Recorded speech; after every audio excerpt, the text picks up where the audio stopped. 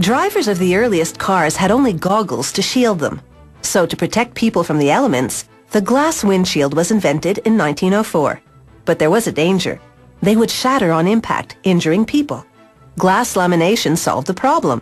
It was shatterproof, a real scientific breakthrough. To make a windshield, they start with a plain sheet of glass. An automated plotter moves a cutting wheel over it and the wheel scores the glass. Now, a robotic arm brandishes a torch. It moves along the score line and the thermal shock completes the cut. This is the best way to cleanly cut through glass. Next, a robot suctions up the cut piece of glass and transfers it to the next station, where it pushes the glass against a series of sanding belts. This takes off the sharp edges. It's called seaming. Now a conveyor belt takes the glass through some soapy water to clean it up. Then nozzles spray the glass with a mix of talcum powder and water. This will prevent the glass from sticking to a second sheet of glass.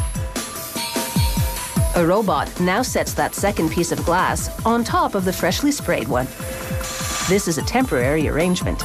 The two sheets of glass are layered for processing, but will be pulled apart later.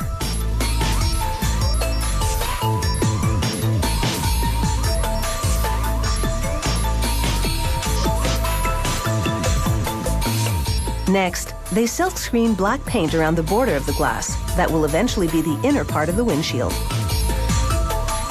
Then automated arms carry the glass to a station where samples are inspected visually. After that, rollers transfer the glass to automatic squaring pucks, which position them. And then a robot lifts the sheets of glass and carries them to four metal pins. The pins recede and the glass falls onto a bending iron. The iron is shaped like a specific windshield. The conveyor takes the bending iron with the two glass sheets into an oven called a bending leer. The leer heats the glass sheets to 750 degrees Celsius, causing the glass to sink into the shape of the bending iron. Then the glass goes through a slow cooling cycle to anneal or toughen the new shape. Next, a robot picks up a sheet of vinyl cut in the shape of a windshield. It takes the vinyl sheet to one of the newly shaped pieces of glass, just separated from the other piece. Then another robot lowers the other identical piece of glass onto the vinyl. And that's the formula for glass lamination. Two layers of glass with a piece of vinyl between them. In the event of an accident, the windshield will fracture but not totally shatter because the vinyl will hold most of the broken glass together. But at this point, there's no clear view through that milky white vinyl. That's why the windshield is headed to a machine called a nipper. The nipper presses the windshield between a series of rubber rollers, squeezing out air pockets in it. As the air is removed, the view through the vinyl gets a bit clearer. Now, squaring pucks position the windshield, and a robot sticks brackets for the rearview mirror onto it. This big blue chamber is an autoclave. It's like a pressure cooker.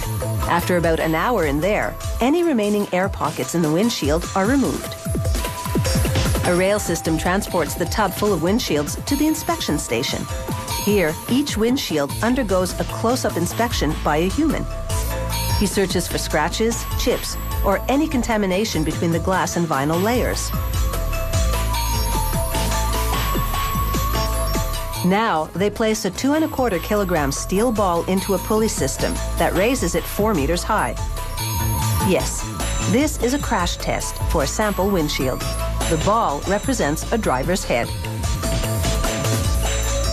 The ball hits the glass but doesn't go through which means the windshield has passed this safety test. Now they view the windshield through polarized light, which reveals stress defects, but only a trained eye can spot them. Once it's decided that everything looks good, the windshield is ready for the road. And the view from the driver's seat is now as clear as glass.